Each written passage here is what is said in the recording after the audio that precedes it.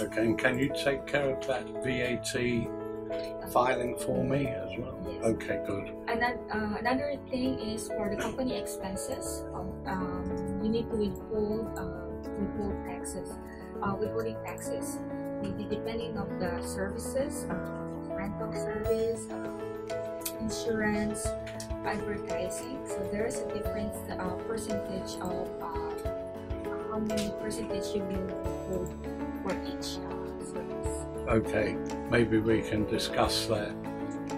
I'll bring you some paperwork, maybe tomorrow, the day it will be more helpful for us uh, as accounting service uh, to, to see uh, all your accounting uh, Yeah. receipt so we could uh, evaluate uh, uh, according Right, uh, the documents.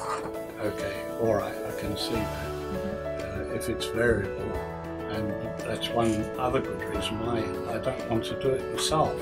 So I'll certainly bring you those receipts and invoices. Okay? Sure, Mrs. Okay, thanks for your time. Thank you for your time. See you next if you time. have any more questions, just send. Yeah, sure. Thanks a lot.